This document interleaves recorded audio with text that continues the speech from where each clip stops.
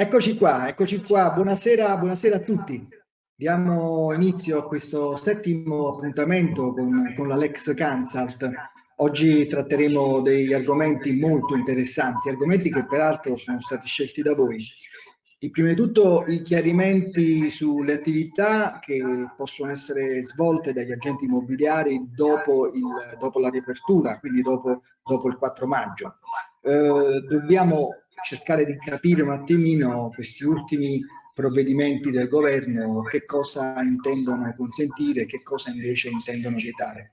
Sappiamo tutti che ci sono, state parecchi, ci sono stati parecchi contrasti circa l'interpretazione di questi ultimi provvedimenti. Del resto, come evidenzieremo dopo, è una normativa di urgenza, per cui è comprensibile che ci siano delle difficoltà interpretative.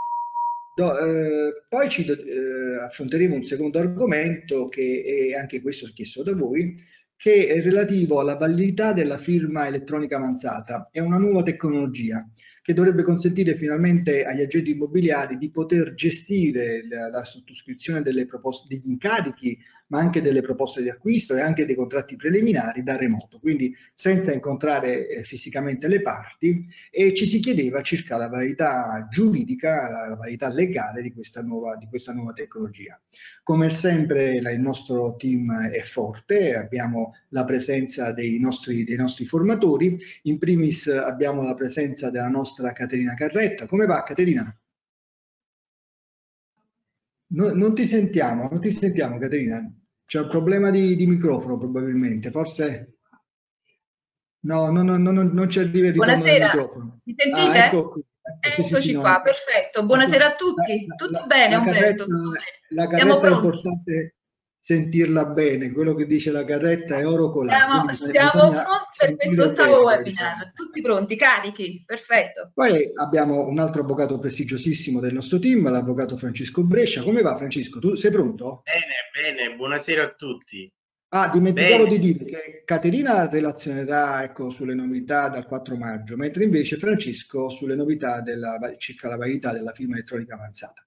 Ma come sempre, ormai è diventata una tradizione, il nostro incontro verrà aperto dalla, dalla nostra giovane collaboratrice, il nostro giovane avvocato, avvocato Gerarda del Guercio. Come stai Gerarda? Buonasera a tutti, tutto bene avvocato, siamo prontissimi anche questa volta.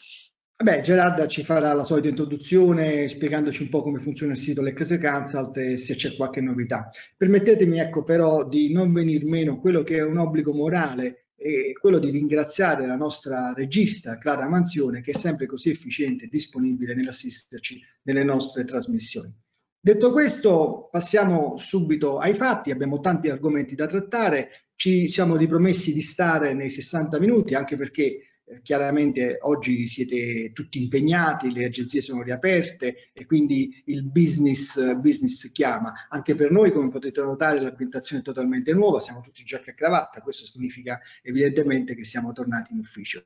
Bene, siamo pienamente operativi e quindi è il caso di essere operativi anche nella nostra giornata formativa. Prego Gerarda, buon lavoro.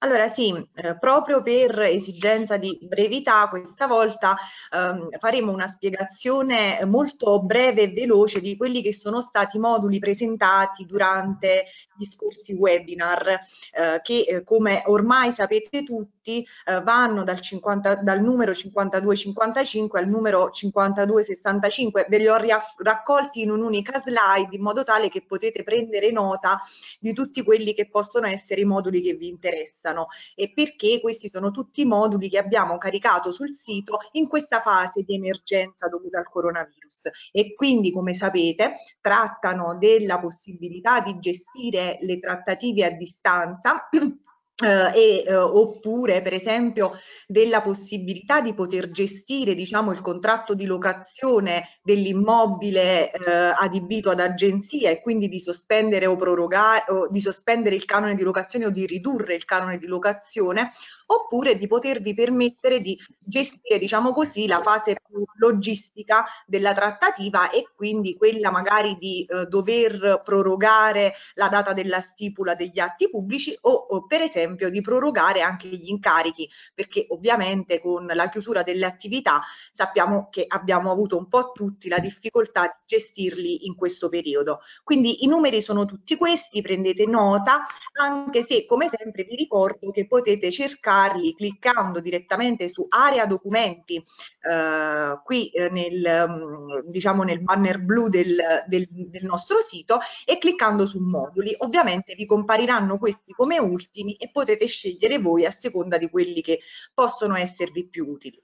Diciamo che però questa volta, a differenza delle scorse volte, ci siamo proposti di farvi vedere anche altre sezioni del nostro sito perché magari ci rendiamo conto che anche per esempio quando dovete iscrivervi ai corsi di formazione magari non avete ancora buona conoscenza di questa eh, sezione che è esplicitamente, espressamente dedicata all'area alla formazione.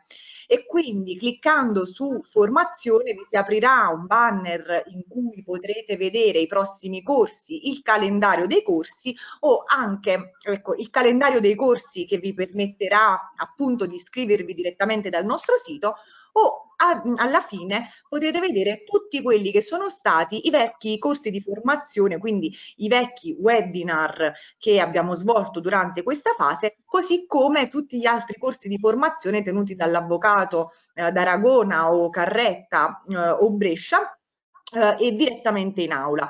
Ovviamente mentre i uh, webinar... Gerarda, chiamarli, chiamarli, vecchi mi pare un po' esagerato, dai.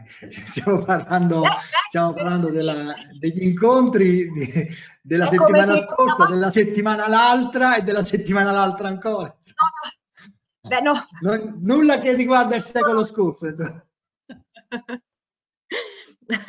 per vecchi comunque intendevo corsi in realtà fatti uh, nei mesi scorsi ma anche prima della fase emergenziale avvocato no, quindi... settimane, settimane, scorse ah sì certo poi ci sono i corsi eh, quelli che facevano ancora esatto. nel periodo in cui ci si poteva incontrare fisicamente sì, sì. a questa fase eh, del coronavirus sì stavo dicendo che questi corsi, a differenza dei webinar, sono divisi in pillole di mezz'ora perché siano più facilmente consultabili.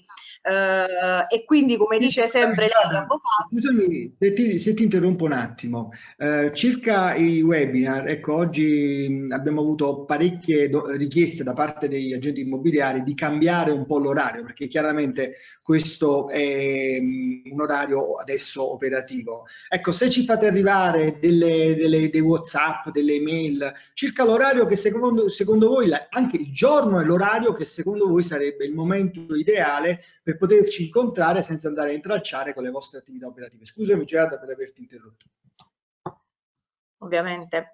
Andiamo avanti.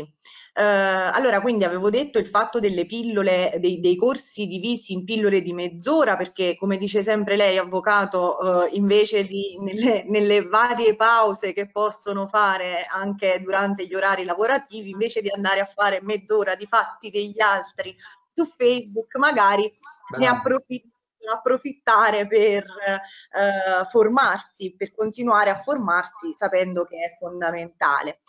Andiamo avanti. Certo. Altra area che è poco conosciuta quanto apprendiamo diciamo dalle varie consulenze telefoniche è quella relativa alla formulazione dei quesiti, che è un altro delle, delle nostre diciamo così eh, offerte consulenziali molto molto importanti. Questo perché? Perché ovviamente sicuramente ci rendiamo conto che la consulenza telefonica è il primo, ehm, il più importante dei servizi che noi possiamo offrire e che però non in tutti i casi può essere soddisfacente o comunque ci sono anche, ci possono essere svariati casi in cui un parere scritto da un avvocato può essere molto utile ehm, per esempio, eh, che ne so, per andare al comune il quale non ci vuole rilasciare determinati certificati, eh, oppure mi è capitato anche che eh, uno dei miei pareri sia stato fornito ad un notaio per la stessa esigenza. Eh, e quindi ecco, io nel consigliare durante le consulenze telefoniche questo tipo di servizio faccio sempre questi due tipi di esempi perché mi rendo conto che sono, diciamo così, quelli che possono essere gli utilizzi più utili. Ecco. Uh, ecco, e volevo dire, um, questa è l'area formazione in cui come vedete eh, compaiono tutti e cinque i consulenti eh, telefonici. Area, area, area acquisiti, area acquisiti, area acquisiti area quesiti, scusate ho sbagliato, area quesiti in cui compaiono tutti e cinque i consulenti telefonici a cui potete ovviamente eh, chiedere eh, direttamente il vostro quesito, formulare il quesito cliccando, eh, scegliendo uno dei consulenti eh, e poi vi si aprirà l'area in cui eh, potete direttamente sottoporre appunto il vostro quesito ai consulenti. Ehm, detto questo, avvocato, il mio ehm, intervento sì. doveva essere molto ti, breve. Ti ringrazio, ti ringrazio di essere stata veramente sintetica perché come abbiamo detto prima oggi abbiamo davvero tanta, tanta roba, tanto, tanto materiale da trattare. Eh, volevo un attimino soffermarmi, se torni un attimino sulla slide di prima, sulla differenza sì. tra, la, tra, la, consulenza telefonica e, e i quesiti e i pareri. Hanno sì. due finalità completamente diverse. La, la consulenza telefonica ten, tendenzialmente deve tendere all'istantaneità, cioè diciamo che l'agente immobiliare deve utilizzare la consulenza telefonica quando ha il cliente di fronte, quando si ritrova a dover dare una risposta in tempo, in tempo reale. È logico che il consulente telefonico in quel caso dà una risposta estremamente sintetica, spiegando al, all'utente come si deve comportare, come deve affrontare la situazione, ma è logico, non è un corso di formazione, non potrebbe mai esserlo, per cui tendenzialmente l'utente resta ignorante, resta inconsapevole sulle motivazioni di quel comportamento che è stato consigliato, cioè su quali sono le norme che spiegano quali sono gli indirizzi giurisprudenziali che giustificano quella scelta. Ecco, questo è il motivo per cui quando invece il nostro utente ha, diciamo, non ha il, il, cliente di fronte, ma invece ha un problema, piuttosto che rivolgersi al consulente telefonico è preferibile utilizzare i pareri, perché i pareri sono estremamente completi, eh, spiegano all'utente eh, qual è il motivo, quindi quali sono le norme che regolamentano quel caso, quali sono le sentenze giurisprudenziali che sono state già emesse e quindi perché si arriva a questa soluzione. È logico che l'utente che legge un parere acquisisce competenza. Acquisire competenza significa poter tornare dal, dal, cliente, ma può essere anche il notaio, può essere anche l'avvocato del cliente, con un livello di professionalità molto superiore. E voi sapete che questo oggi è fondamentale per assicurare un successo alla propria attività professionale. Bene, bene Gerarda, ti, ti ringrazio. Abbiamo saluti per tutti i nostri relatori da parte degli utenti. Ricordo agli utenti che ci potete anche formulare delle domande. Abbiamo un apposito sistema che ci consente di ricevere e di proporre ai nostri relatori le vostre domande, per cui vi invitiamo a, ad utilizzarlo. Detto questo, possiamo passare all'argomento clou. Sappiamo che dal 4 maggio è stata consentita la riapertura delle agenzie immobiliari, ma il decreto del Presidente del, del Consiglio dei Ministri non è stato chiaro su quali fossero le attività consentite. In particolare avete sentito un po', avete seguito anche sui social, ci sono stati parecchi contrasti, soprattutto per quanto riguarda le visite all'immobile. Le visite all'immobile consentite o non consentite? Non si riesce a capire davvero se l'agente immobiliare oggi è legittimato a recarsi sul, sul, sull'immobile del cliente ma soprattutto se i suoi clienti alla, alla, alla, visita. Se, in altri termini, se la visita all'immobile costituisce un motivo legittimo di, di, spostamento. Su un argomento così delicato, chiaramente, abbiamo chiamato a parlare la nostra Caterina Carretta, alla quale passo la linea. Buon lavoro, Caterina. Non ti sentiamo, non ti sentiamo. Perfetto. Non ti sentiamo, non ti sentiamo. Ecco, adesso Come, è arrivata. Vai. Mi sentite? Ok. Sì, un po' a tratti, ma... Eccoci qua.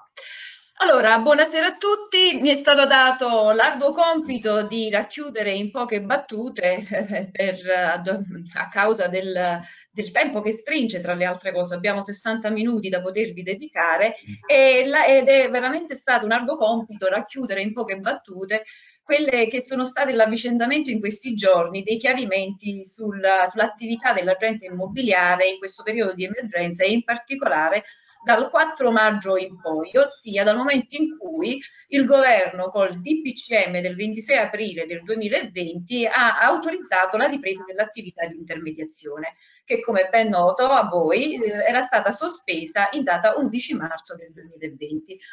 Per poter in, in effetti iniziare questa, questa, disquisizione, quindi su questi passaggi che si sono avvicendati, che poi tra le altre cose molto, molto confusi, ci sono stati tutta una serie di chiarimenti, interventi, il governo che è intervenuto più volte con chiarimenti e con le prefetture che dall'altra parte contrastavano gli stessi chiarimenti del, del, del, governo, abbiamo cercato quantomeno di, attraverso un'interpretazione asettica dei vari chiarimenti e delle disposizioni che sono intervenute, di individuare quelle che sono le direttive per parare in questo periodo di emergenza, per evitare di incorrere in errori, ma più che altro di esporsi, di fare in modo che l'agente immobiliare si esponga a sanzioni. Dobbiamo iniziare per forza di cose dall'articolo 2 del DPCM del 26 aprile del 2020 che, come ben sapete, ha sancito la riapertura dell'attività di intermediazione. Facendo riferimento in questo all'articolo 2, al comma 1, si evidenzia sull'intero territorio nazionale sono sospese tutte le attività produttive, industriali e commerciali, ad eccezione di quelle indicate nell'allegato 3. Come ben sapete, in effetti nell'allegato 3 è ricompreso quello che il codice ATECO riconducibile all'agenzia immobiliare, per cui, secondo la, la, la disposit il dispositivo dell'articolo 1, sono sospese tutte tranne quelle previste nell'allegato 3. Essendo stato individuato, consentito alle attività ricomprese in questo allegato la riapertura dell'attività ed essendo ricompreso in questo allegato il vostro codice ATECO, eh, la vostra attività dal 4 maggio quindi ha ripreso normalmente, tra virgolette, quello che sono le modalità operative. Precedenti, è normale che in effetti siamo ancora in un periodo di emergenza, per cui anche se il decreto ministeriale ha eh, autorizzato la ripresa delle attività, è normale che dovrà essere un'attività eh, che andrà a rispettare quelle che sono le vigenti misure anti-Covid, in particolare raggruppate in tre grandi branche, distanziamento sociale, misure, igienico-sanitarie e divieto di assembramento.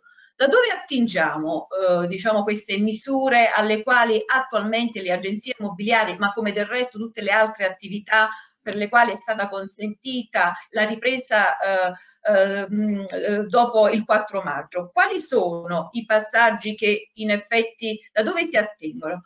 Abbiamo l'articolo 1 eh, del decreto ministeriale del, 2000, del 26 aprile del 2020 che sancisce gli esercizi commerciali alla lettera DD gli esercizi commerciali la cui attività non è sospesa ai sensi del presente decreto sono tenuti oltre alla distanza interpersonale di un metro che gli ingressi avvengano in modo dilazionato e che venga impedito di sostare all'interno dei locali più del tempo necessario all'acquisto dei beni. Quindi abbiamo già le prime misure che l'esercizio commerciale, la cui attività sia stata autorizzata dopo il 4 maggio, deve se non altro fare in modo che queste misure vengano rispettate. Poi va ancora oltre l'articolo 1 e dice si raccomanda altresì l'applicazione delle misure di cui all'allegato 5. Riconduciamo all'allegato 5. L'allegato 5 cosa dice in particolare? Mentre nei primi passaggi ehm, non fa altro che ripetere quella che è la sanificazione più volte durante la giornata, l'utilizzo di, l'uso di guanti, eh, di, eh, l'utilizzo di guanti uso e getto, nonché mascherine e quant'altro, nella parte finale e in particolare al comma 7 va a regolare gli accessi alle agenzie immobiliari o comunque agli uffici attualmente aperti. E che cosa dice in particolare? Ehm, qual è il comma sul quale dobbiamo soffermare la nostra attenzione? In particolare l'accesso agli uffici. La, è la lettera B, quindi comma 7, lettera B, dove espressamente fa riferimento che per locali fino a 40 metri quadrati può accedere una, una persona alla volta, oltre ad un massimo di due operatori. Per cui l'agente immobiliare che si ritrova un ufficio che ha una metratura fino a 40 metri quadri, all'interno dello stesso, oltre i due operatori, non può che accedere che un solo utente.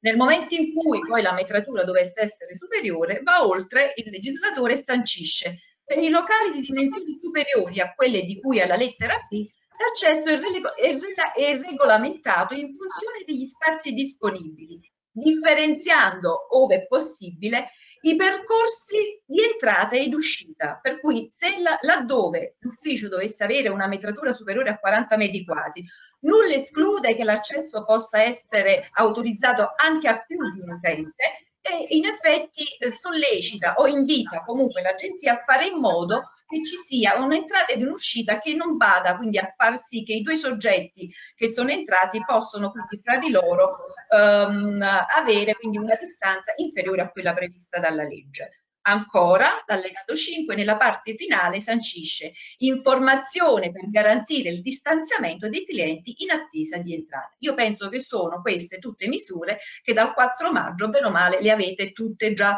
prese in considerazione. Era soltanto un modo per farvi comprendere quelle che sono le disposizioni che vi sono state da date, da dove, quindi da dove vengono estrapolate. Detto questo, benissimo, il, il decreto ministeriale del 26 marzo con l'articolo 1 sancisce la riapertura delle attività, si riaprono le sedi, ma la domanda che ci poniamo qual è? Possiamo stare aperti, ma quali sono effettivamente le attività consentite? È un dubbio che ci assale, no? Perché ci assale un dubbio? Innanzitutto partiamo dal presupposto che il DPCM sono dei, dei provvedimenti d'urgenza, dei provvedimenti che non seguono l'iter ordinario di una legge, per cui non sono leggi ponderate, ma sono più che altro leggi che vengono emesse per eh, più che altro far eh, fronte a situazioni di emergenza imprevedibili, per cui ci sta pure quella che potrebbe essere la sbavatura della legge, la contraddizione o comunque l'omissione anche perché essendo una norma emanata d'urgenza, inevitabilmente qualcosa può sfuggire al legislatore. Ed è proprio questo che in effetti ci ha portato, ha portato quindi i vari provvedimenti, ha comportato che i vari provvedimenti che sono stati emessi durante questo periodo sono dei provvedimenti alcune volte anche contraddittori tra di loro e andiamo a vedere sì, perché. Sì, ecco perché oggi noi siamo qui a cercare di darvi delle indicazioni, perché ogni qualvolta che è intervenuto il governo o con un DPCM o con un chiarimento, alcune volte si è, si è, addirittura eh, contraddetto. E allora cerchiamo in modo asettico di capire allo Stato che cosa può fare l'agente immobiliare? Quali sono i dubbi che nascono dalla, da, dalle disposizioni attualmente in vigore? Caterina, mi senti? Sì, ti sento Umberto, dimmi. Ecco, scusami, dai, no, io eh, ci tenevo a um, intervenire su questo discorso della legislazione di urgenza. Sì. Perché anche nei vari commenti che abbiamo sentito sui social, ma anche attraverso la televisione, mi sembra che questo profilo non sia stato adeguatamente sottolineato. Eh, si pretende di individuare all'interno di questo tipo di legislazione quella precisione, quel tecnicismo che è tipico della legislazione ordinaria. Non ci si rende conto che queste sono norme che sono state partorite nell'arco di pochissimi giorni in tempi limitatissimi, in situazioni di estrema emergenza e che hanno dovuto regolamentare un caso incredibile di fattispecie. Per cui pretendere che questo genere di norme sia preciso, eh, assolutamente coerente, preveda una soluzione specifica per ogni singolo caso è assolutamente assurdo, scusatemi la cacofonia, è una pretesa impossibile. Questo è il motivo per cui è chiaro che ci potranno essere, ci sono, ci saranno ancora delle difficoltà di interpretazione ed è chiaro che solo successivamente, solo attraverso degli interventi successivi del governo si potrà sperare che si faccia chiarezza su ogni singolo caso. Ma non dobbiamo meravigliarci affatto che in una prima fase ci possa essere confusione, è scontato e la confusione riguarderà tutti, riguarderà i cittadini, riguarderà le stesse forze dell'ordine incaricate di verificare l'osservanza di queste norme, riguarderà addirittura chi le ha emesse queste norme. Non ne parliamo poi di noi, di noi avvocati che saremmo tenuti a spiegarle ai cittadini. Interpretarle. Vado? Sì, sì. ok, perfetto. Allora, quali sono i dubbi che, che ci assalgono? Uh, in effetti li abbiamo raggruppati in tre grandi eh, dubbi. I clienti possono entrare in agenzia per acquistare un immobile? L'agente immobiliare può effettuare le visite sugli immobili? I clienti possono seguirlo nelle visite? Ebbene, allora per poter dare una risposta a ognuno di questi interrogativi dobbiamo fare un passo indietro. Ritorniamo di nuovo sull'articolo 1 del DPCM del 26 aprile, laddove quindi viene, vengono individuati, vengono quelli che sono gli spostamenti allo Stato consentiti. In effetti l'articolo 1 alla lettera A sancisce sono consentiti, attenzione, solo gli spostamenti motivati da quali esigenze? Da comprovate esigenze lavorative, da situazioni di necessità, per motivi di salute e si considerano necessari gli spostamenti per incontrare congiunti.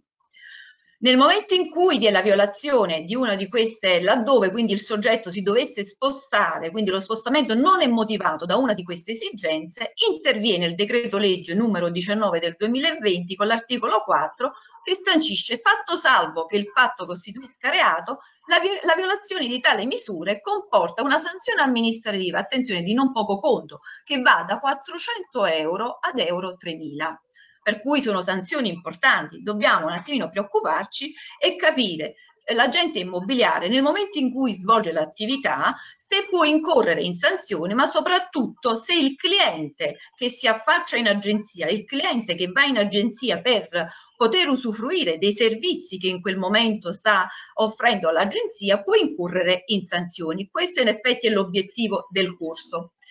Per quanto riguarda gli agenti immobiliari il problema non si pone. Abbiamo visto dalla lettura dell'articolo che lo spostamento può essere tranquillamente motivato per esigenze lavorative.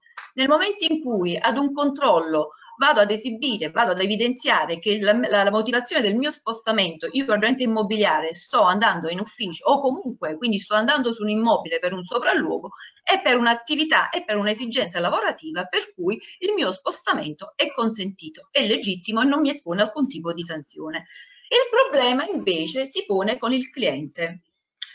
Per poter far fronte, ecco vi dicevo, come diceva anche Umberto prima, eh, i chiarimenti non sono mai chiarimenti, anzi ogni qualvolta che interviene il governo quindi va a creare un'ulteriore confusione. Se all'articolo 1 quindi c'è l'indicazione di quelli che sono i motivi che permettono al soggetto di spostarsi, per poter comprendere a questo punto quel motivo di necessità che cosa comprendeva, interviene il governo con un chiarimento e va a specificare. Si può uscire di casa solo per i seguenti motivi, quindi riprende i motivi che abbiamo visto nell'articolo 1 per andare al lavoro per motivi di salute, poi va a specificare per quanto riguarda la motivazione legata alla necessità alcuni passaggi fondamentali che sono quelle dei visite a congiunti per fare la spesa, per acquistare giornali, per andare in farmacia e per acquisto di beni necessari alla vita quotidiana e poi, quindi a chiusura, ed è questo a cui noi facciamo riferimento, per recarsi presso uno qualsiasi degli esercizi commerciali aperti.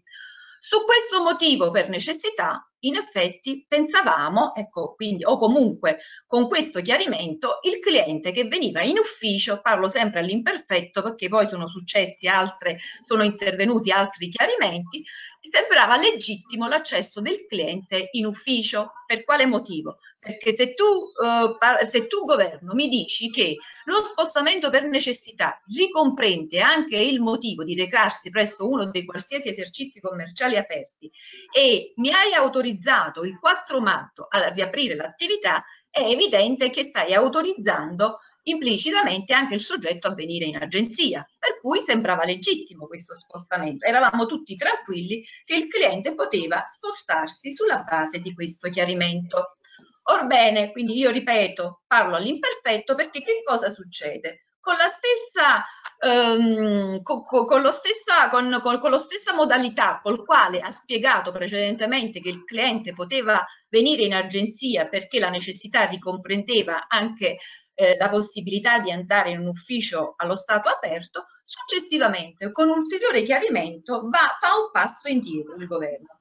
Difatti, ad un successivo interpello e in particolare quello che, con il quale si chiedeva al governo si può uscire per acquistare beni diversi da quelli alimentari, il governo chiarisce e dice sì, ma solo per acquistare prodotti rientranti nelle categorie di generi di cui è ammessa la vendita, espressamente previste dal DPCM del 26 aprile del 2020, la cui lista è disponibile a questo quindi allegato agli allegati 1 e 2. Quindi che cosa fa il governo? Dice sì, puoi uscire anche per acquistare prodotti che non siano alimentari, purché rientrano in quelle categorie di genere di cui è ammessa la vendita. E che cosa fa? Richiama gli allegati, all'allegato 1 e all'allegato 2. Siccome noi abbiamo detto nella premessa che l'agenzia immobiliare, il codice Ateco numero 68 riconducibile all'agenzia immobiliare rientra in quale allegato? Nell'allegato 3, implicitamente è come se avesse detto quindi non, non puoi muoverti perché quindi non è un genere presso il quale non è un'attività per cui è ammessa la vendita. Quindi fa un passo indietro, mi esclude l'allegato 3 e quindi mi butta beh. di nuovo in confusione. Ok? Manca l'allegato 3. Dimmi beh, beh, Caterina, ecco, questa è, è proprio l'espressione di quella frettolosità redazionale alla quale facevamo prima riferimento, cioè tu non mi puoi prima autorizzare all'apertura e poi ti dimentichi di autorizzare i clienti a venirmi a trovare. Cioè, ecco, è un, è un caso un passo evidente. indietro, Roberto. Prima un passo ma avanti, non, poi un passo indietro. Ma non è un, caso, un passo indietro, questa è, è una dimenticanza, è, è un'evidente dimenticanza perché hanno dimenticato di considerare che all'interno del, dell'allegato 3 vi erano anche le agenzie immobiliari che erano state autorizzate a riaprire ed è chiaro che se mi autorizzi a riaprire è scontato, il minimo sindacale sono le attività che io devo svolgere in loco, il minimo sindacale. Per cui si tratta evidentemente di una dimenticanza. Questo è il motivo per cui se noi pretendessimo di interpretare la legge con i criteri ermeneutici normali, normali è logico che rispetto ad un chiarimento del genere dovremmo arrivare a, a, a ritenere che i clienti non si possono recare nelle agenzie ma invece se adottiamo un atteggiamento di sostanza e, vediamo, e ci, ci rendiamo conto che effettivamente è una legislazione che necessita obbligatoriamente di un minimo di tolleranza da parte dell'interprete, è evidente che si tratta di una mera dimenticanza e che indubbiamente i clienti sono legittimati a recarsi in agenzia per poter fruire dei, dei servizi di un'attività commerciale di servizi che è aperta, non c'è dubbio. Sì, beh, ma non finisce qua in tutto questo, ah, no. perché, perché, in effetti a, a, sollevare altri dubbi, quindi se non altro intervengono le prefetture. Come ben sappiamo, le prefetture non sono altro che organi periferici del Ministero dell'Interno che dovrebbero, eh, quindi a livello locale, che dovrebbero coordinarsi con il Ministero dell'Interno. Invece che cosa è successo? Noi abbiamo fatto eh, più che altro un excursus di quello che è successo, ma poi tra le altre cose nel giro di 24 ore. Non è che in effetti sono provvedimenti che sono stati emessi a distanza di tempo, addirittura nella stessa giornata prefetture, quindi in località diverse, quindi dicono cose contrastanti. Difatti, però Caterina, però, Caterina se, se, mi ricordo bene, eh, l'intervento, almeno spero di non sbagliare, l'intervento delle prefetture si è focalizzato su un altro problema ancora, cioè sì, non, è stato, sì. non, è stato, messo in discussione che i clienti si potessero recare in agenzia. Qua il, il, il, il punctum dolens quello che veramente ha creato scalpore, sul quale non si riusciva ad arrivare ad una soluzione condivisa da tutti, era se poi i clienti si potevano recare a fare le visite sugli le immobili. Visite È lì che si è creato il grande contrasto che ha dato luogo veramente a interpretazioni le più disparate, da, provenienti da organi ufficiali, oltretutto. Eh, questo è che è più grave. Sì, difatti eh, la, eh, la, concentrazione delle prefetture quindi è stata sopra e soprattutto sulla legittimità degli spostamenti del cliente per effettuare le visite. Difatti, in data 4 maggio la prefettura di Milano, quindi due giorni fa, lo escludeva. Difatti nella parte finale quindi sancisce infine per l'effettuazione di un sopralluogo presso un immobile da parte dei clienti non sembrerebbe rientrare per i motivi ai sensi dell'articolo 1,1 lettera A del DPCM del 26 aprile scorso, in quanto lo spostamento individuato non essendo riconducibile né motivi né di lavoro né di motivi di salute né di necessità. Quindi la, la, la, prefettura di Milano esclude quindi che sia legittimo lo spostamento del, del cliente per procedere, per, per, per, per visitare un immobile. Caterina, è molto, Caterina è, è molto, importante eh, evidenziare la gravità dell'intervento della Prefettura di Milano. Per due motivi di fondo. Prima di tutto perché la prefettura, la prefettura di Milano, per, per l'evidente importanza che ha, eh, determina sempre in, eh, diciamo, in genere un indirizzo per tutte le altre prefetture. E quindi l'aver avuto questa indicazione ci ha davvero preoccupato e ha creato momenti, momenti di grande apprensione. Ma poi, contrariamente a quello che ritenevano alcuni, eh, questa indicazione della prefettura di Milano non è stata collegata al fatto che in Lombardia è una regione che notoriamente è un, diciamo, è, è un territorio martoriato da questa, da questa pandemia. No, assolutamente, non ha tenuto proprio in considerazione quelli che sono gli aspetti locali si è riferita semplicemente all'interpretazione della norma nazionale, senza localizzazione di sorta, sì. stabilendo che in purezza, interpretando la norma nazionale, le visite non si potevano fare, che è, è davvero gravissimo. È assurdo, quindi questo tipo di interpretazione. Ma da Milano arriviamo a Lecco, quindi anche la prefettura di Lecco, quindi attraversa tutto lo stivale italiano e la stessa interpretazione si ha anche a Lecco, quindi nella giornata del 5 maggio, quindi due giorni fa, quindi la stessa prefettura di Lecco fa lo stesso osservazione. Si segnala infine che l'effettuazione di un sopralluogo presso un immobile da parte dei clienti non sembrerebbe, non sembrerebbe, ecco, quindi sempre il condizionale, rientrare tra i motivi che ai sensi dell'articolo 1 legittimano lo spostamento individuale non essendo riconducibile né a motivi di lavoro né a motivi di salute e né di necessità. Quindi da Milano a Lecco l'orientamento è lo stesso, i sopralluoghi non si possono fare perché non rientrano nei, nelle, nelle se, motivazioni. Se, rimaneva, se, rim, se, rimane questo l'indirizzo, la nostra è un'apertura solo teorica perché... Non serve assolutamente serve eh sì, soltanto per, per la, la, maggior parte dell'attività dei nostri clienti consiste fondamentalmente nel far visionare gli immobili, per cui è davvero un handicap importante questo genere di interpretazione. Va a limitare sicuramente l'80% di quella che è l'attività che svolge l'agente immobiliare, è normale che questo orientamento penalizza sicuramente l'attività. Allora, dicevo, vedete, pubblicato, io ho anche, se non altro, riportato il momento in cui è stato pubblicato e modificato. Siamo alle 10 di mattina del, di, di, di, del giorno 5 maggio. Nella stessa giornata ci sono state tutta una serie di indicazioni poi successive, tanto è vero, eh, Umberto, quindi eh, puoi tranquillamente, perché abbiamo insieme abbiamo predisposto questo, questo webinar sulla scorta delle indicazioni che mano a mano quindi si affacciavano su sì, internet. Lo, abbiamo dovuto modificarlo dovuto cambiare in continuazione. Abbiamo dovuto cambiarlo in continuazione perché puntualmente le indicazioni andavano in una direzione diversa. Sì, sì, sì. Ogni, 5, ogni 5 minuti una novità. Ogni 5 minuti una novità. Questo confronto tra me e Umberto e ogni volta che io vedevo la chat di Umberto andavo in panico. Ecco qui, mentre stavo predisponendo la slide, Umberto mi diceva leggi qui, leggi qui, quindi è stato veramente attimi di tensione per poter assemblare un, un, discorso e darvi delle indicazioni, almeno oggi precise, che poi eventualmente andremo a rivedere la settimana prossima, ma sicuramente quindi sulla base dell'orientamento che eh, attualmente siamo in grado di poter dare ai nostri, ai nostri clienti. In effetti, seguendo poi l'iter delle varie prefetture, abbiamo anche la prefettura di Firenze, però questa volta la prefettura di Firenze si distacca da quello che è l'orientamento di Milano piuttosto che di Lecco, difatti dice le visite sono, possono essere svolte solo se c'è urgenza aprendo un ulteriore diciamo, quindi, dubbio, sollevando un'ulteriore problematica che si inventa. È, un concetto, è un concetto molto opinabile, chiaramente. Quando esiste questa urgenza e, e, soprattutto come si fa a verificare l'urgenza? Davvero quindi, siamo nella nebbia più assoluta. Nebbia fitta. Sicuramente. Difatti nulla ha fatto, quindi anche questo ha chiarito. Quindi questa è la prefettura di Firenze che ha sollevato quest'altra problematica, ma non siamo qui.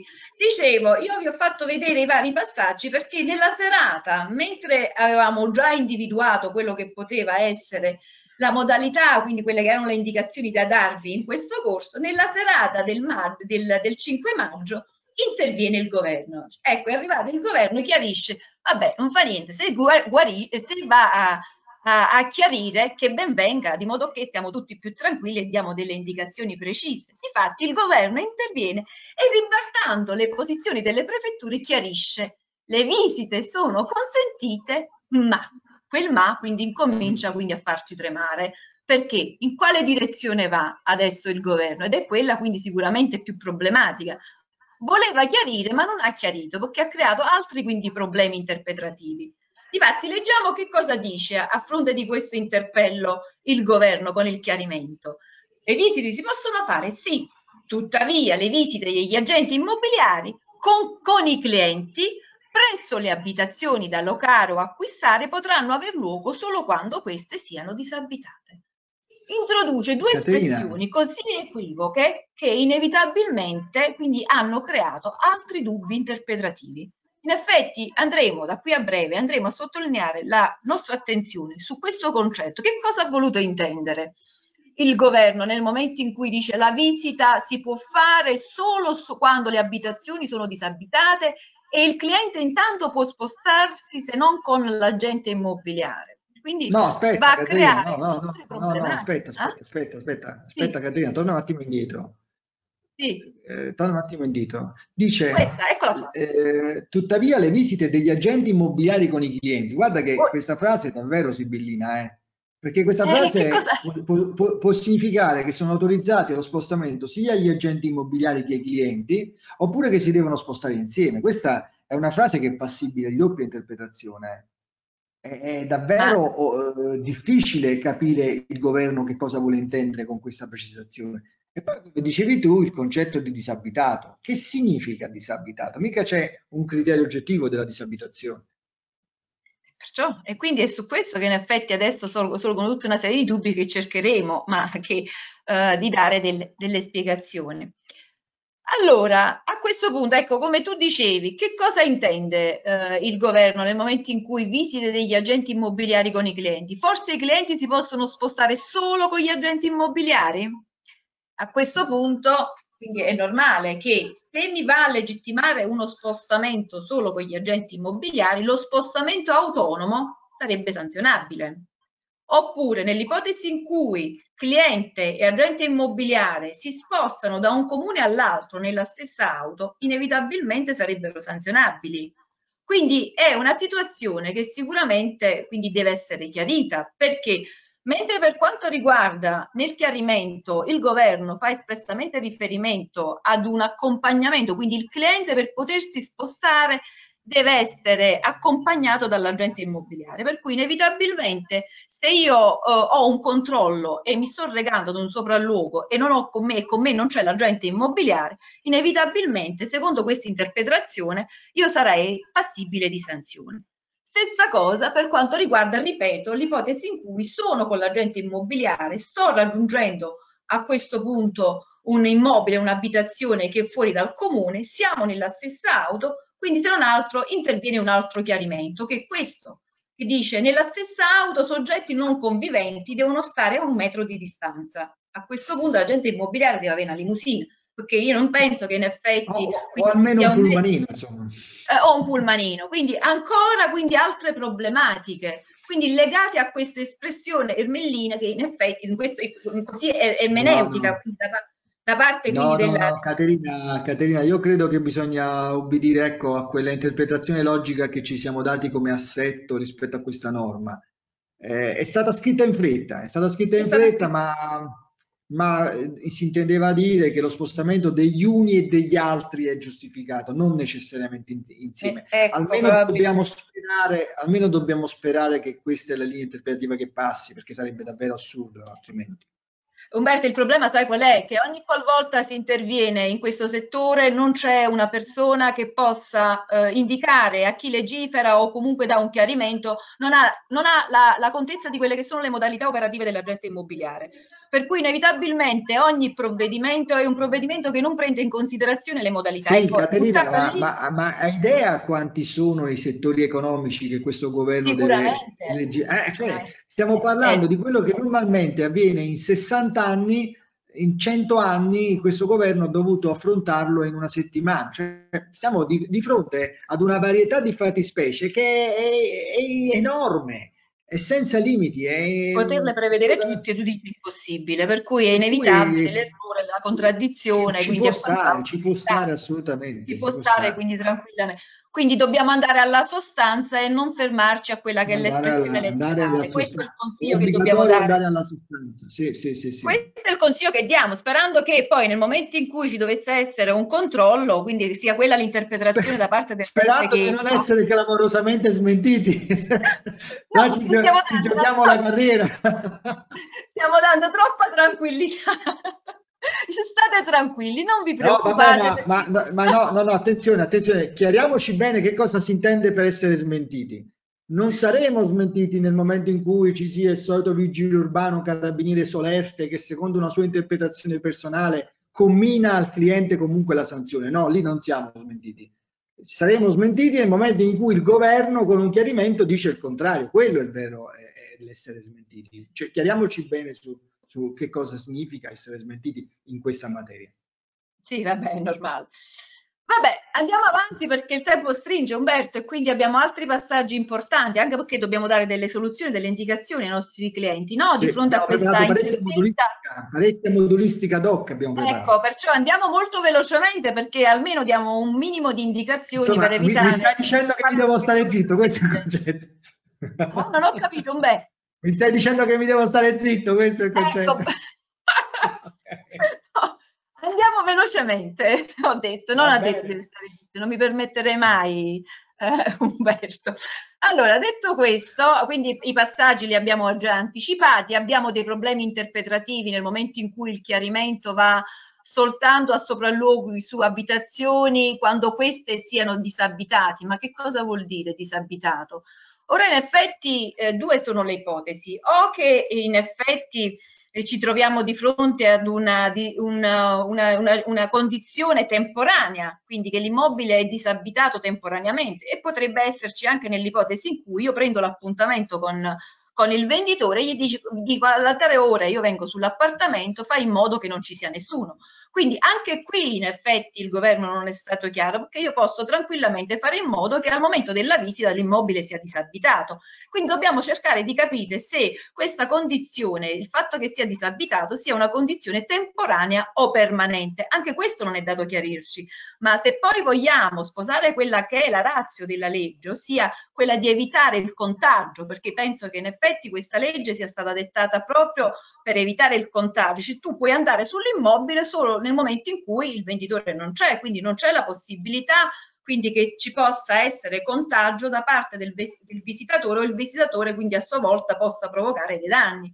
Questa potrebbe essere un'interpretazione logica, però se vogliamo sposare quella che è la razio, inevitabilmente eh, nulla esclude che se io faccio allontanare il venditore, eh, poi il fatto che il visitatore probabilmente possa essere un soggetto infetto, a sua volta nel momento in cui rientra il venditore, quindi potrebbe essere a sua volta infettato dal, dal visitatore che aveva, eh, se non altro, contratto il virus. Quindi è un'interpretazione buttata là per dire che probabilmente quella della situazione dell'allontanamento temporaneo sicuramente non ci può essere, quindi dovrebbe essere più che altro una una situazione permanente, quindi non temporanea, se vogliamo sposare quella che è la razio della normativa eh, di forse, forse, forse, permanente esagerato, ma diciamo eh, che ci deve essere un, un, periodo di tempo per evitare che ci possa essere contagio eh, tra una contagio.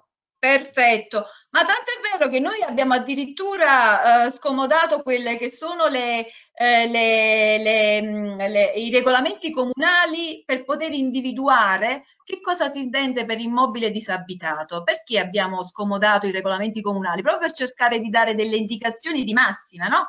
Perché il comune intanto eh, va, ehm, eh, dichiara che quell'immobile è esente da imposti comunali quando risulta disabitato, per cui abbiamo se non altro pre- ripreso gli stessi principi che il comune adotta per poter capire se quell'immobile è disabitato o meno. E quali sono i, i, criteri sui quali il comune basa le, quell'esenzione delle imposte? O che l'immobile non ha l'allacciamento, quindi le utenze sono distaccate, oppure all'interno non c'è mobilio o altri arrivi. Quindi addirittura quindi abbiamo sconfinato in un settore che non ha nulla a che vedere, che è quello quindi legato alle imposte, però che ci permette quantomeno di avere un minimo di, eh, di, di, di, riferimento per dire ma che cosa si intende per disabitato? Il comune quindi intende disabitato quando non ci sono gli allacci no, no, e che credo, credo, non ci credo che sia questo il criterio, ti ringrazio Vabbè, per aver individuato. Non ci credi, però quantomeno in effetti il concetto di disabitato in questo caso, però attenzione attenzione Umberto, chi è il soggetto che comunque è deputato alla verifica? Il vigile. Brava, brava, lo stesso soggetto, brava. attenzione, eh, ecco su questo aspetto, lo stesso che in effetti poi è deputato a verificare se è disabitato ai fini delle imposte comunali. Attenzione, ah, ecco, non è ecco. che abbiamo un soggetto che si va a doppiare.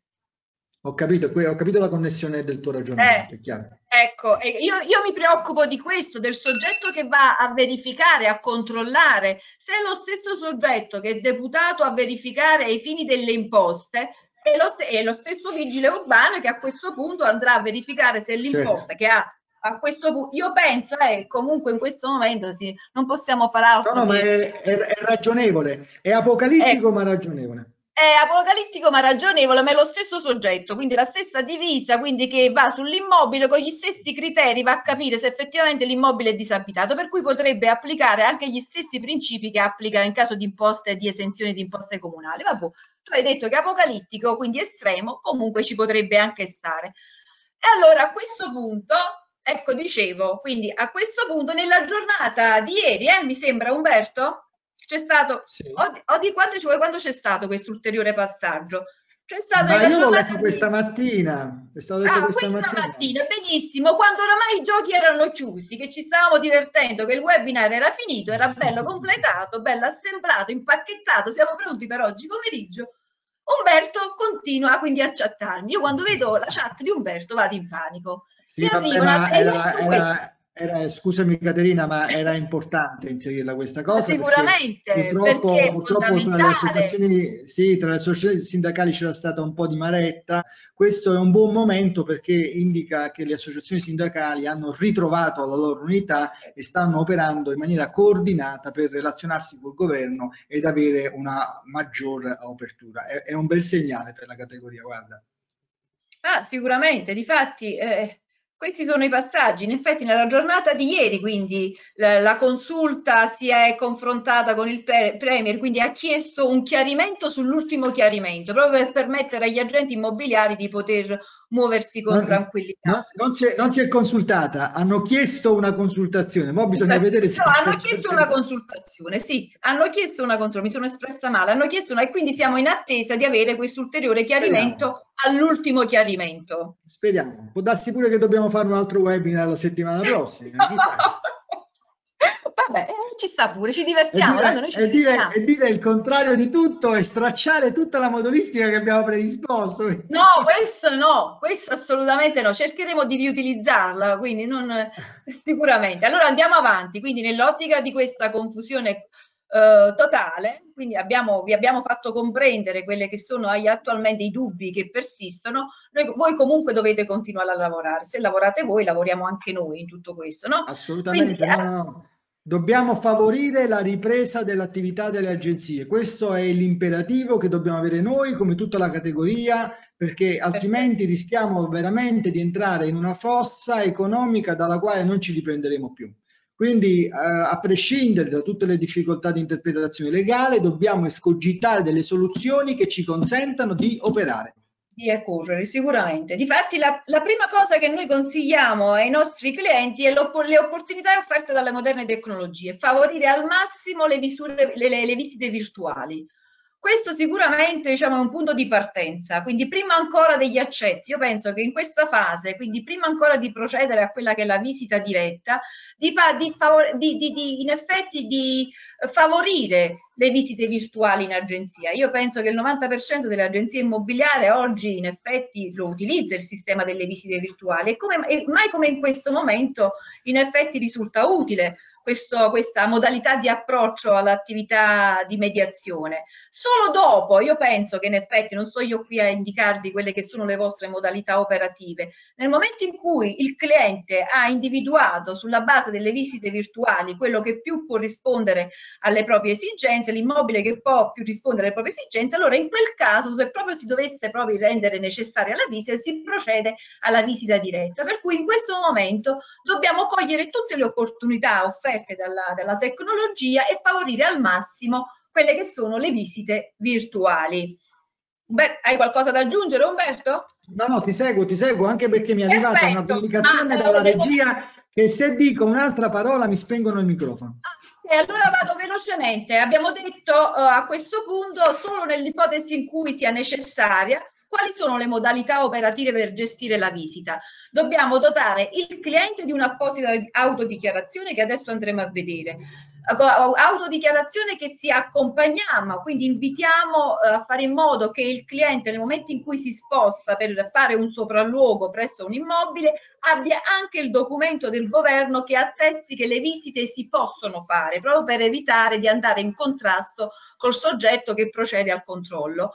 E poi, prima ancora, quindi tutto questo, fare sì che quel motivo, proprio perché in effetti la legge sancisce che deve essere comprovata, quindi noi dobbiamo dimostrare, il cliente deve dimostrare che si sta muovendo per un sopralluogo. Allora facciamo in modo che la visita sia preceduta da un invito da parte dell'agenzia che può avvenire tramite sms piuttosto che mail nel quale c'è il chiaro riferimento all'appuntamento presso l'immobile mo in modo tale che laddove ci dovesse essere un controllo nel, um, in itinere, cioè tra, quindi la, uh, nel momento in cui um, si uh, uh, nel momento in cui va ad effettuare la visita anche un documento che attesta che è l'invito che va a certificare che mi, so, mi sto spostando in virtù quindi di questo invito che, che mi ha formulato l'agenzia immobiliare. Quindi, quindi in effetti Caterina dobbiamo dotare il cliente di una sorta di dotazione standard.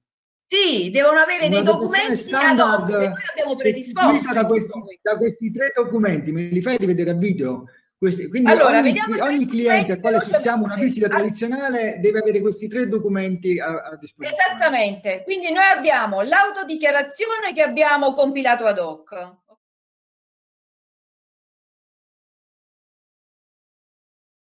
Andiamo avanti? Sì, vai. Quindi lo ritroviamo sul nostro sito al, al, numero 5290, quindi già è stato caricato e quindi può essere tranquillamente scaricato. Andiamo avanti. Poi abbiamo una comunicazione che eh, facciamo che l'agenzia, quindi a decorrere dal 4 maggio, avrebbe già dovuto fare ai propri clienti, che sono diventati, quindi che c'è apertura, quindi è stata riaperta l'attività e che si è pronti quindi a riprendere le trattative o comunque la gestione degli incarichi che erano rimasti sospesi. Anche qui abbiamo predisposto un modulo ad hoc che è il 5288 già caricato sul sito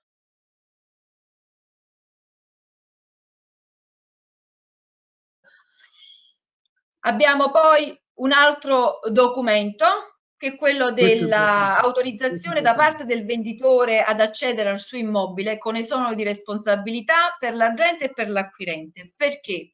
Innanzitutto, se noi abbiamo predisposto questa modulistica eh, sulla base di quelli che sono gli ultimi chiarimenti del governo, no? Se il governo ha autorizzato le visite purché l'immobile, l'abitazione sia disabitata, qualcuno ci deve dichiarare che l'immobile è disabitato. Sicuramente non è l'agenzia immobiliare che si assume questa responsabilità, ma lo è no, ma, proprio, ma, ma, proprio, perché non esiste per l'agente immobiliare un modo per accertare in modo ufficiale che, che l'abitazione è disabitata e non mi si venga a dire perché non ci sono gli effetti personali, perché questo certamente non basta. Quindi è solo il venditore che ci può dire se l'immobile è disabitato. E quindi ci fa questa dichiarazione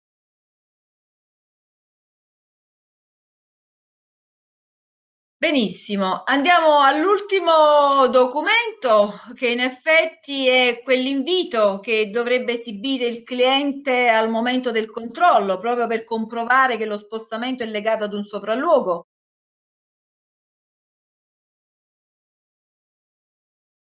Abbiamo modificato anche la scheda visita. Ecco qui la scheda, al di là di quelli che sono i passaggi eh, fondamentali della nostra scheda visita immobile che puntualmente implementiamo ogni qualvolta quindi c'è la necessità di resistere a qualche eccezione nelle aule giudiziarie. La particolarità di questa scheda visita immobile è quella di averla aggiornata all'emergenza.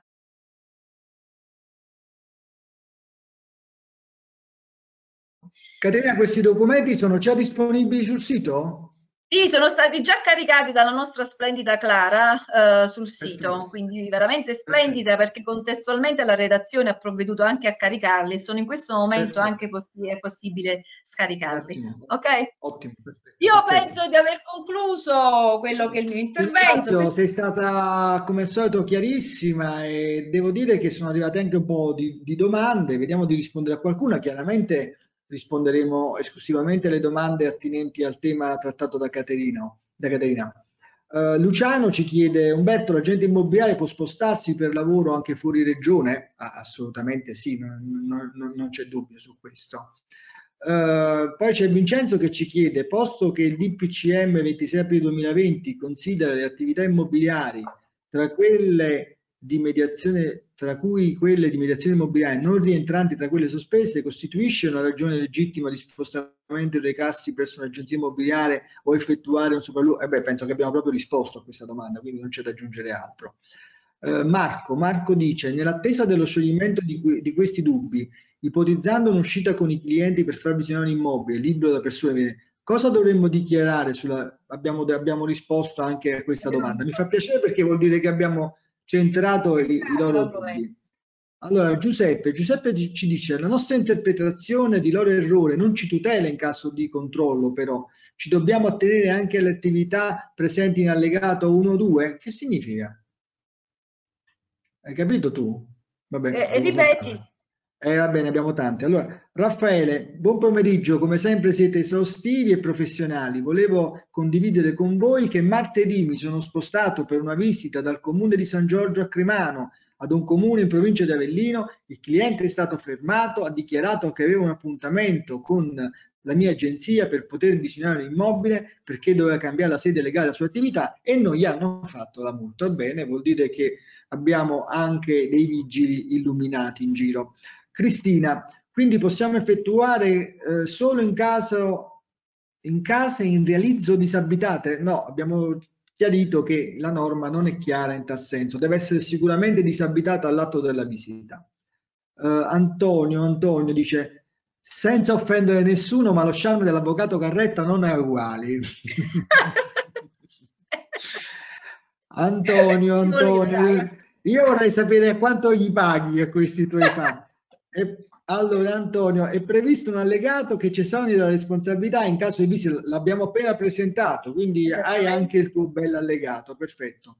Cristina, eh, oppure possiamo recarci presso gli immobili abitati, abbiamo risposto anche a questo, se sono abitati in quel momento, se c'è la presenza delle persone, assolutamente no. Um, Giuseppe, ho un immobile con inquilino all'interno, devo farmi autorizzare il proprietario ed anche dal proprietario per entrare? Assolutamente sì, perché lui dovrà eh, convenire, dovrà concordarsi con l'inquilino per far sì che sia almeno assente all'atto delle visite, se vogliamo dare l'interpretazione più larga. Uh, Giuseppe ci dice esso comunque abitato, non capisco come mi comporto, l'abbiamo chiarito. Uh, Flavio ci dice conviene autocertificare che i clienti vengono in agenzia sull'immobile? Lo abbiamo detto, bisogna dotarli del vostro invito e ve l'abbiamo anche preparato. Uh, va bene ragazzi, eh, ci confermano che, che, i documenti sono disponibili perché li stanno scaricando in contemporanea, stanno arrivando anche molte vostre eh, foto, dei, dei selfie che vi riprendono mentre seguite il nostro incontro e ci fa molto piacere, ma non possiamo dilungarci oltre perché avevamo, avevamo, promesso e abbiamo già assolutamente violato questa promessa di stare nell'ora. Eh, ringrazio Caterina Carretta per l'ottima illustrazione e passo la parola all'avvocato Francesco Brescia per l'argomento conclusivo in ordine alla valenza legale delle firme elettroniche avanzate. Buon lavoro Francesco. Grazie Umberto e buonasera a tutti. Eh, concludiamo questo corso eh, con eh, l'argomento segnalato non solo da voi eh, clienti, agenti immobiliari, ma presente in numerosi blog del settore. Credo che ognuno di noi in questi giorni abbia ricercato la parola firma elettronica, firma elettronica qualificata, firma elettronica eh, digitale, eccetera, eccetera. E cerchiamo di capire e di dare una risposta alla possibilità di sottoscrivere eh, un contratto, una proposta d'acquisto, un incarico di mediazione, un preliminare, non in forma cartacea, ma appunto in forma elettronica. Eh, l'attributo elettronico sta proprio a indicare un qualcosa di diverso dal, dal cartaceo, che viene effettuato in modalità diverse dalla carta, quale può essere non solo un PC, un tablet o un telefonino, ma eh, anche un bancomat, una pennetta, eccetera, eccetera. Eh, per rispondere a questa domanda dobbiamo chiarire subito un principio. Nel nostro ordinamento c'è un principio che la sottoscrizione autografa, cioè la sottoscrizione che è riferita al suo autore, è un requisito indefettibile di validità del contratto, cioè un contratto senza firma non è valido, non è assolutamente valido. Vediamo ora di capire se la firma elettronica può soddisfare questo principio e analizziamo i vari tipi di firme elettroniche perché eh, è giusto fare una preliminare chiarezza. Esiste la cosiddetta firma elettronica, chiamiamola semplice, cioè la firma elettronica, cioè quell'insieme di dati connessi tra loro, realizzati su strumenti diversi dal cartaceo, quale può essere l'user e la password della casella di posta elettronica.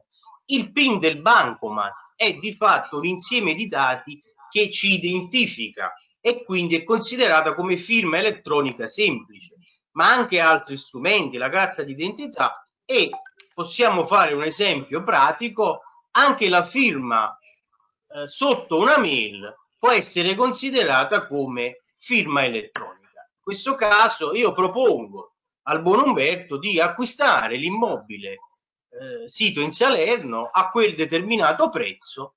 Umberto se accetta con una mail abbiamo scambiato solamente mail ma di validità legale non c'è nulla perché la firma elettronica è sicuramente non utilizzabile per sottoscrivere proposte o contratti non ha alcuna efficacia per tutta una serie di ragioni. Sono dispiaciutissimo Francesco perché mi incassavo 750 mila euro, l'immobile non è neanche il mio, quindi eh, mi dispiace, ma, ma, ma è, è così. Una vendita alla Fontana di Trevit e Totò, insomma.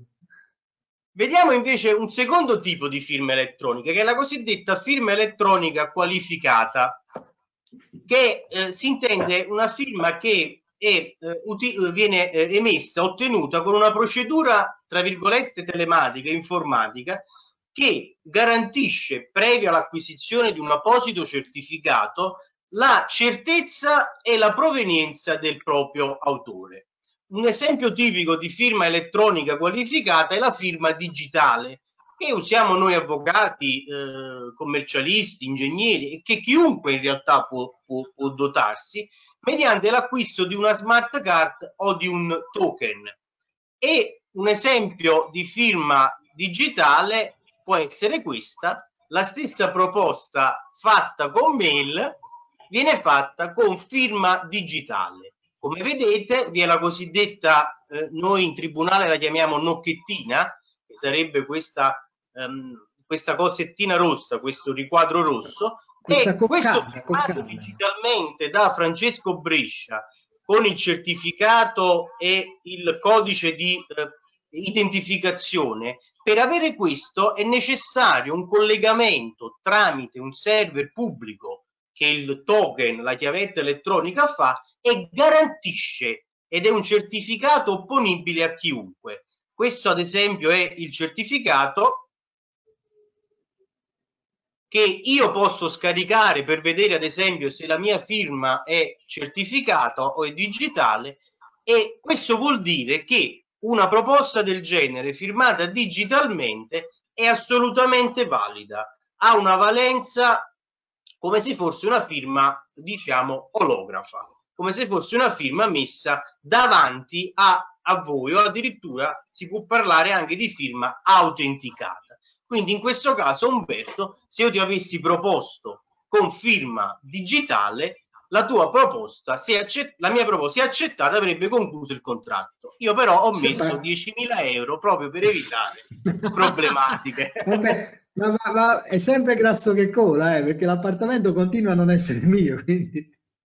Diciamo che magari con la firma digitale risolviamo ogni dubbio, ma è commercialmente inopportuna perché dovremmo dotare o il cliente stesso si dovrebbe dotare di token, chiavette e i costi non sono eccessivi, ma comunque se non c'è l'esigenza un acquirente per firmare una proposta o per firmare una scheda visita non si andrà mai a dotare di una, di una chiavetta per la firma digitale. E andiamo a vedere il terzo tipo, la cosiddetta firma elettronica avanzata cosiddetta FEA, che negli esempi è la firma che viene messa, eh, come dire, eh, negli sms, nei pin o quella che mettete in banca su quegli appositi apparecchietti con la pennina elettronica, la firma biometrica, cioè è un insieme. Ho preferito fare un esempio grafico perché se andiamo a leggere la definizione sicuramente non, non, non inquadriamo, ma se la vogliamo dare, la firma elettronica avanzata è un insieme di dati allegati o connessi a un documento che consentono che cosa? L'identificazione del firmatario, la connessione univoca al firmatario, cioè significa che quella firma è messa non solo da Francesco Brescia, ma solo Francesco Brescia è in grado di poter mettere quella firma su quel determinato aggeggio ed è creata con dei mezzi sui quali io, firmatario, posso conservare un controllo esclusivo.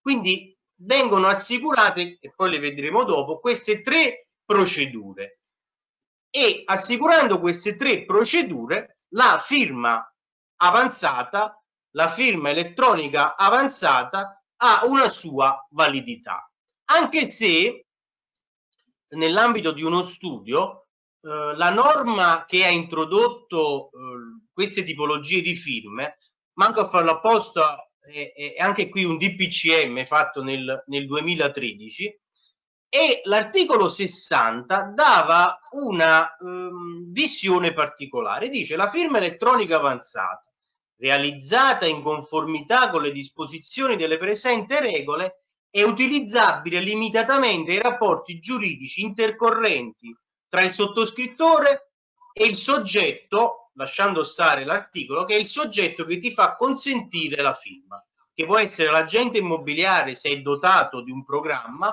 o l'impresa che utilizza questo programma. Questo che cosa significa nella nostra operatività? E noi lo insegniamo da anni anche nelle aule di giustizia che il mediatore, l'agente immobiliare non è parte del contratto, non è parte del contratto preliminare. Quindi se vogliamo analizzare questa norma, significa che la firma avanzata può essere utilizzabile per la per un incarico di mediazione, per sottoscrivere una scheda visita, ma magari per far scambiare una proposta e un'accettazione no. Perché? Quindi io... Se, se, se, ho capito bene, quindi Francesco, se un agente immobiliare si compra questo sistema di firma elettronica, gli può essere utile solo per farsi firmare l'incarico? Se analizziamo questa norma e anche qui una interpretazione, come dire, fredda dovrebbe essere così. Proseguendo però nello studio,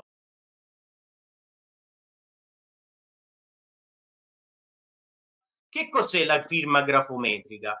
La firma grafometrica è una particolare firma di eh, elettronica avanzata, quindi rientra in questo terzo tipo di firma, eh, quella là magari apposta su di un tablet al, a, al termine di un documento, ma per essere considerata firma elettronica avanzata e quindi per rispecchiare tutti i requisiti, deve rispettare le specifiche stabilite in quel DPCM che abbiamo prima nominato.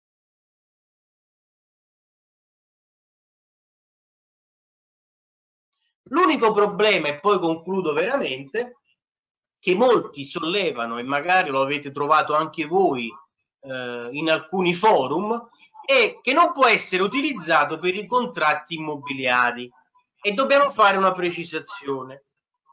Questa eh, limitazione nasce perché l'articolo 21 del codice dell'amministrazione digitale dice che eh, le scritture private di cui agli articoli 1350 dei numeri 1 e 12 se fatte con documento informatico devono essere sottoscritti appena di nullità o con firma elettronica qualificata o con firma digitale. Cioè la seconda tipologia di firma che abbiamo visto ha una sicura validità però andiamoci a leggere quello che interessa l'articolo 1350 numero 1 parla di contratti che trasferiscono la proprietà di beni immobili quindi sicuramente un atto pubblico non si può fare per firma elettronica avanzata. Ma, ma, ma, ma neanche una scrittura privata di vendita, no, non un, una, un preliminare, eh, ma una scrittura privata di vendita non si potrà fare. Una scrittura pri privata di vendita, anche se eh, lo sappiamo, la scrittura privata di vendita è, è molto rara. uno strumento utilizzabile, ma commercialmente non, non, ne ho mai sentite le, le, le, le scritture private di vendita e poi i contratti di locazione di beni immobili, ma per una durata superiore a 9 anni. Quindi i contratti di locazione classici 4 più 4 e 6 più 6 sono tranquillamente editabili e sottoscrivibili con firma grafometrica. Quindi questo limite sicuramente non rientra. Io Umberto ho concluso, spero Bene, di ottimo, aver dato... Ottimo. Assolutamente, assolutamente, Francesco, come al solito sei stato precisissimo, eh, molto molto completo.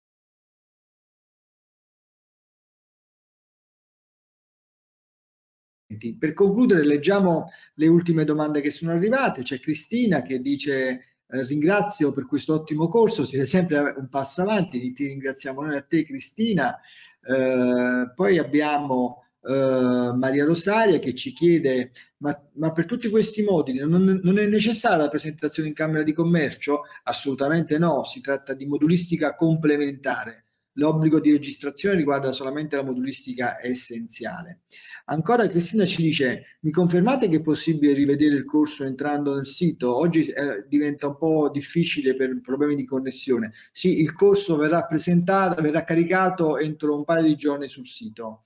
Uh, Raffaele ci dice, è possibile far firmare a un cliente una proposta che noi gli inviamo e lui la firma e la rigira a noi tramite PEC? Assolutamente no. La PEC non assicura l'autenticità della firma, la PEC assicura solamente la ricezione, non assicura l'autenticità della firma. Vincenzo, volevo chiedere se io oggi ritiro una proposta d'acquisto con il cliente in ufficio, le autorità potrebbero multare il cliente facendo riferimento alla data della proposta, ma l'accesso del cliente in ufficio è consentito, Vincenzo. Il problema è che in questa attività, in questa ricezione, dovrai rispettare tutte le, le eh, indicazioni circa eh, l'accesso e il distanziamento.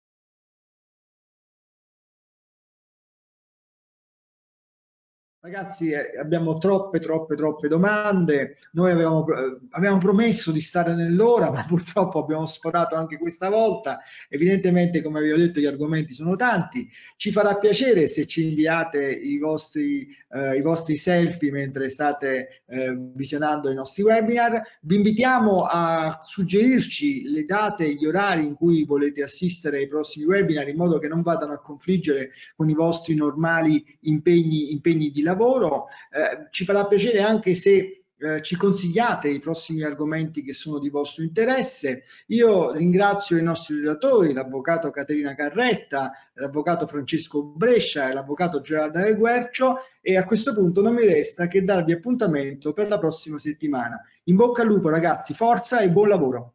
Buonasera, buonasera. Buonasera a tutti. Mettere qua che mi fai emozionare. Io faccio emozionare. Sì, sì, sì, non ti mettere qua. Non ti mettere qua, condivisione schermo. Allora, parto, parte Gerarda, poi va Caterina e in ultimo Francesca. Francesco.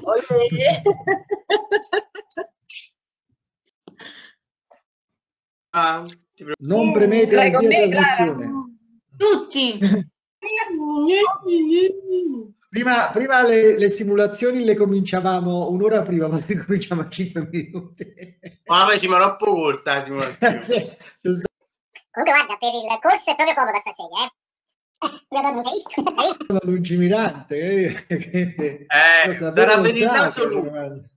Cioè, tu quando dici io vedo al di là del mio naso, eh, eh, eh, eh, naso, eh, panorami sconfinati.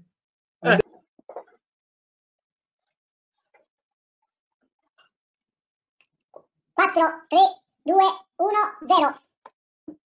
Sì.